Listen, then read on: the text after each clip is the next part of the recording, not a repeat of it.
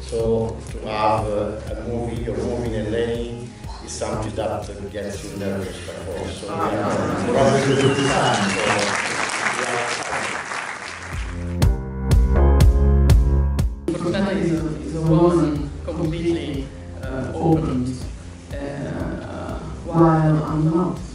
And I try to, to hide a lot of myself.